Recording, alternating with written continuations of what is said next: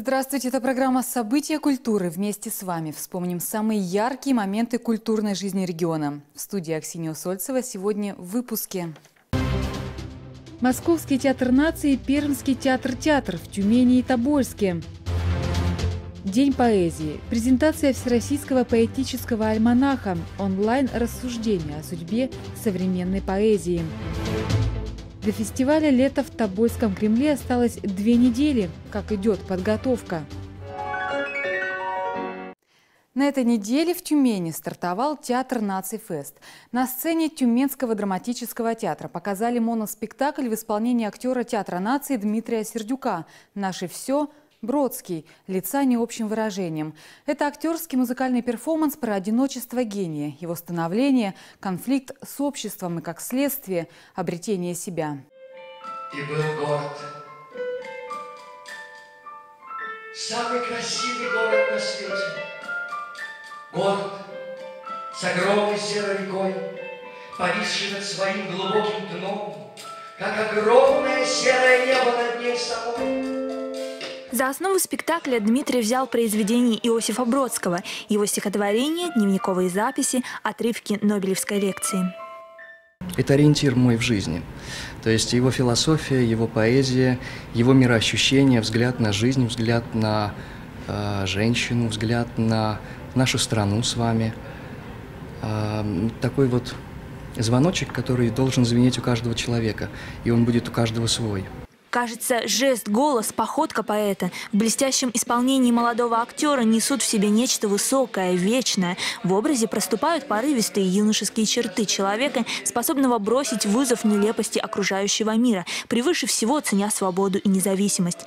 Вместе с Дмитрием выступили его коллеги по театру, исполнив музыкальную композицию, написанную специально для этого спектакля. Ну, это даже не музыка, наверное, это скорее такие звуковые картины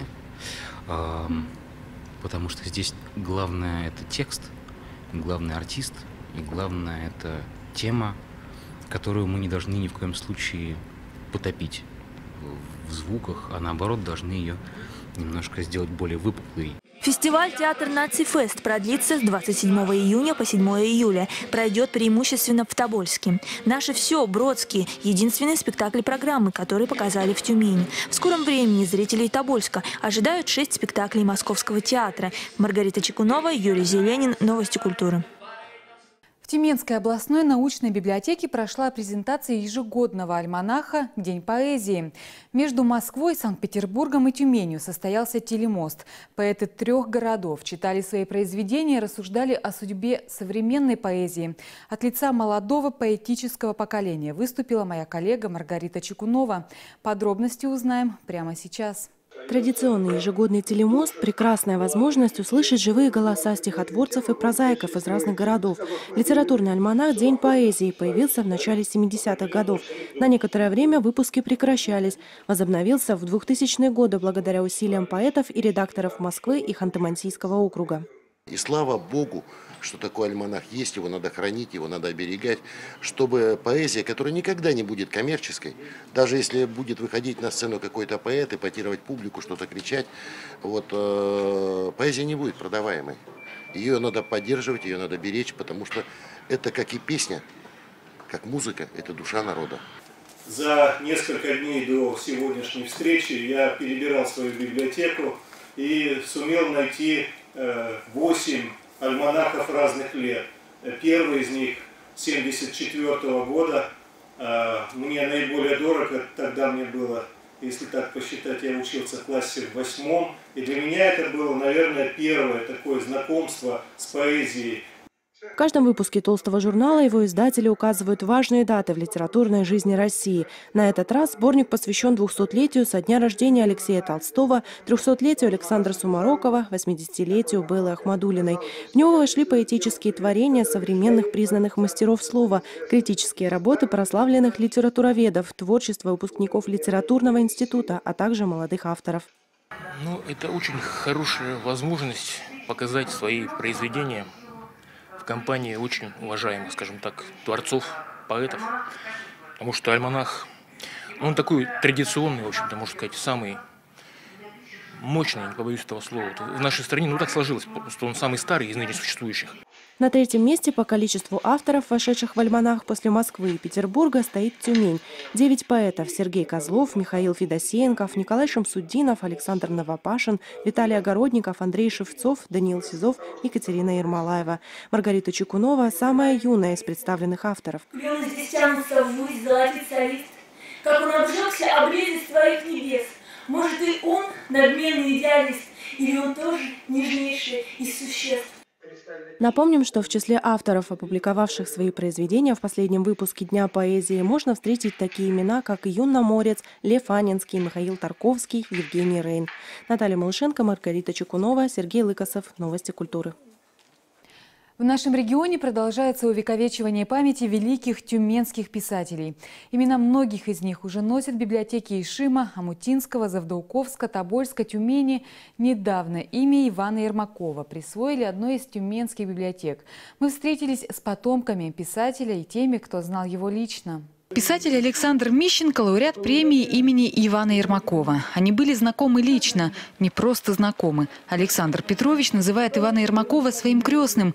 Именно с его легкого слова молодой писатель отправился в 1974 году на шестое всесоюзное совещание писателей в Москву. За 10 лет до этого Иван Михайлович дал еще один судьбоносный совет. Ребята, сейчас на самотлоре на... решается судьба Родины – езжайте туда. Я внял этому делу, поехал. Когда отпуск мне представился в газете, я поехал э, и работал помощником бурильщика. После этого я написал, наделавший много шуму на весь Союз, очередь «Жаркий самотлор». Иван Ермаков прожил недолгую жизнь. В отмеренные ему 50 земных лет он успел многое. Уроженец Казанского района в 19 лет по окончании Омского пехотного училища был призван на фронт. Воевал на Волховском и Ленинградском фронтах. Дважды ранен, удостоен ордена Красной Звезды. Иван Ермаков написал десятки очерков, рассказов, повестей, которые вошли в литературный фонд региона и страны. А в Золотом фонде ГТРК «Регион Тюмень» сохранились уникальные видеоматериалы, в том числе это. Но если вдруг слово засветится, если почувствуешь, что оно обжигается, горячее, немедленно, скорее клади его на наковальню и закаливай, заостряй, доводи. Сибирский сказитель ушел из жизни в 1974 году. Спустя пять лет родился и он, внук писателя. При встрече поразила схожесть двух Ермаковых. Что касается книжек его, это всегда просто приключение в мир русского языка, потому что придумывать новые слова, это я у себя генетически тоже нахожу э, периодически. Вот. А у него это получалось мастерски и зажигательно. Редкие рукописи Ивана Ермакова, его книги, атрибутика военных лет, фотокарточки – все это можно увидеть на экспозиции, созданной ко Дню памяти великого писателя в одной из библиотек города. В год 60-летия нашей библиотеки для нас очень большая честь э, получить имя Ивана Ермакова, тюменского писателя. И в рамках вот этого события у нас запланированы экскурсии для детей, для взрослых, для всех желающих. Активная работа по увековечиванию памяти великих сибиряков, мастеров слова, началась несколько лет назад. Литературные встречи, чтения, семинары и, конечно, присвоение имен писателей библиотекам городов и сел Тюменской области. Первая библиотека вот уже в рамках нашей акции по увековечению памяти э, в Заводуковске получила имя Зота Таболкина, который родом из тех краев.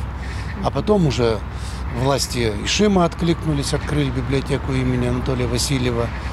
Потом в Амутинке э, библиотеку Шестакова. В ближайшее время имена еще двух ныне здравствующих писателей будет присвоено тюменским библиотекам. Аксинья Усольцева, Вячеслав Иваненко, Денис Осколков, Юрий Зеленин. Новости культуры.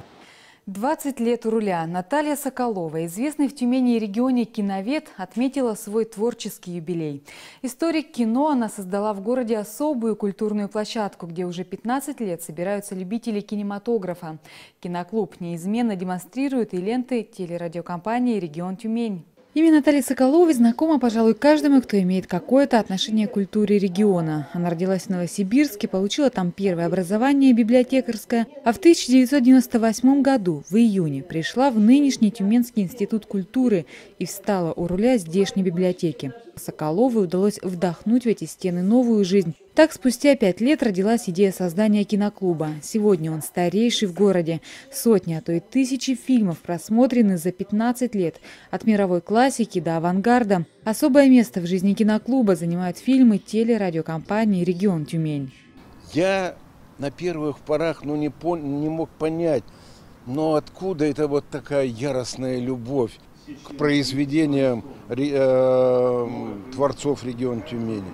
Но потом подумал, наверное, действительно, э, это заслуживает. Вот то, что она смотрит, показывает на своих фестивалях, показывает наши э, творческие личности, особенно э, телережиссеров. И она научила меня также любовно относиться каждому шедевру, который выходит из стен региона Тюмени. Наталья Соколова горит своим любимым делом. Киноклуба оказалось недостаточно, и она придумала еще один проект, который живет уже 8 лет. Это международный фестиваль документального кино «Кинза». Недавно Наталья Павловна сама стала героиней док-кино один из моих друзей, Женя Григорьев, великолепный э, режиссер. Э, его фильм «Пророк» номинировался в этом году и на «Золотого орла», и на, и на «Нику». Э, и, в общем, имел, у нас нет практически прокат документального кино, но Женя э, все-таки добился, и был российский прокат фильма про рок о третьей волне уральского рока. И вы знаете, пять минут там есть я на, на крупном плане на экране. Я сказала, Женя, все, я вошла в вечность. Ведущий киновед Тюмени Наталья Соколова любит искусство во всех его проявлениях. Ее часто можно встретить на выставках, в театре. В кругу ее интересов безусловная литература. Проект «Читать модно» существует уже много лет. Главная его задача – популяризация нашей сибирской литературы. У нас в Тюмени такое количество интересных писателей, поэтов. Вот, и я считаю, что э, патриотизм, воспитание патриотизма у молодежи начинается с того, что они должны знать прежде всего э, свой город. Вот, своих э, выдающихся деятелей и культуры, и литературы, и искусства. Она полна идей и новых планов, готова к встрече с новыми студентами и просто теми, кто любит кино и хочет знать о нем немножечко больше. Аксинья Усольцева, Александр Мащенко, Семен Гринько. События культуры. Пермский академический театр-театр представит в Тюмени свои лучшие спектакли и мюзиклы. На гастроли участники приехали большим составом. Это актерская труппа, танцоры, музыканты оркестра. О том, какие постановки увидят тюменцы в ближайшее время, узнавала Маргарита Чекунова. Театр, каким он должен быть, с его бессмертными идеями, верой в чудо и вечным поиском истины. Пермский театр во многом разрушает сложившиеся стереотипы. Например, на сцене очень часто можно увидеть детей. Труппа подобных экспериментов не боится. Тем более юные актеры никогда не подводят, ведь такая работа приносит им радость. Когда вот первый спектакль у меня был, это было что-то нечто, когда на тебя люди смотрят, когда аплодируют тебе на поклоне. Это потрясающе. Такие эмоции. Мюзикл «Алые паруса» уже давно не просто спектакль. Сегодня это зрительский хит, визитная карточка, почти синоним театра театра. И, конечно, возможность увидеть образ «Прекрасная соль» вскоре представится тюменской публике. Это, э, безусловно, сказка, э, о которой все мечтают и как будто э, в жизни уже э, таких героинь нету, потому что ее действительно на протяжении спектакля называют бесконечной сумасшедшей и в то же время необыкновенно желанной, потому что она не такая, как все. А особенно в нашей стране какая-то невероятная любовь публики к надежде на какое-то романтическое чудо в их жизни, верят, что оно произойдет, оно у нас ментально бесконечно. Поэтому публика а, очень любит этот спектакль, а он помножен на а, там какие-то ну, замечательные декорации Виктора Шелькрота, оно помножено еще и на музыку а, Максима Дунаевского, летящую, романтичную, а, запоминающуюся. Мюзикл идет во многих театрах России, но подобных пермскому спектаклю, который был отмечен национальной театральной премией «Золотая маска» в России нет. Помимо этого, зрители увидят спектакль «Кабаре. Восемь женщин», детскую сказку «Карлик нос» и сказку о царе Салтане. Маргарита Чекунова, Вячеслав Иваненко. Новости культуры. Лето в Тобольском Кремле совсем скоро. К этому грандиозному празднику готовится и Тюмень, где 13 июля на сцене Дворца культуры «Нефтяник» Московский театр «Геликон Опера» представит галоконцерт «Кальмания» и, конечно же, Тобольск, под открытым небом которого прольются русские народные песни и романсы в исполнении солистов «Геликон Оперы», Тюменского филармонического оркестра и Тюменской хоровой капеллы. Все артисты уже приступили к репетициям. Об этом и не только в нашем следующем материале.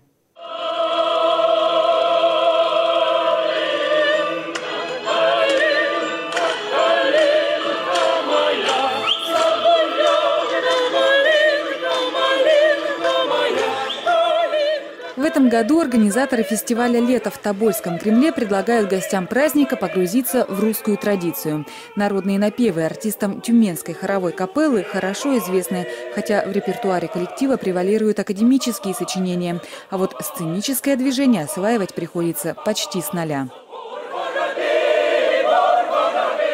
Сама по себе, э, само по себе название, да, Калинка опера, само по себе как жанр, да, вот это, вот э, это выступление, этот концерт, он предполагает не только пение, но и какое-то сценическое движение. Поэтому, поэтому конечно же, э, в данной ситуации капелла не только поет, но и двигается. Хореографию ставит заслуженный артист России, продолжатель династии балетмейстеров Валерий Арцер.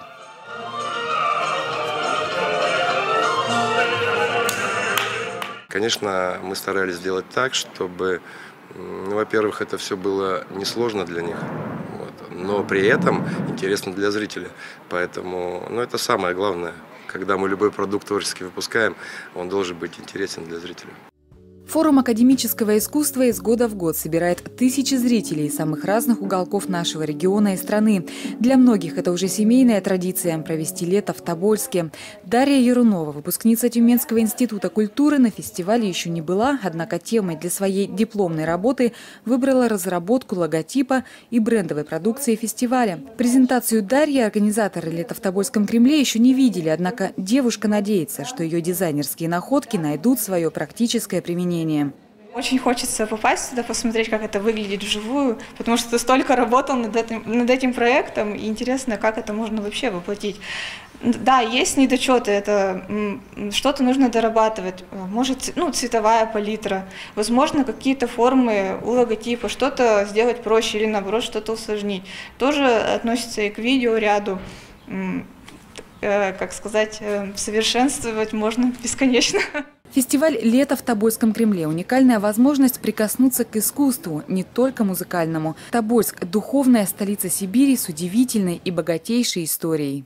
Мы всегда обязательно еще рекомендуем нашим зрителям посетить и музеи в городе Тобольске. Вы знаете, что не так давно состоялось официальное открытие Дома-музея Романовых. И, конечно, именно в этот а, замечательный юбилейный для нас сезон лета в Тобольском Кремле мы рекомендуем всем, всем нашим слушателям, слушателям Тюменской филармонии выехать чуть пораньше, чтобы посетить еще экспозицию нашего а, музея а, Дома Романовых.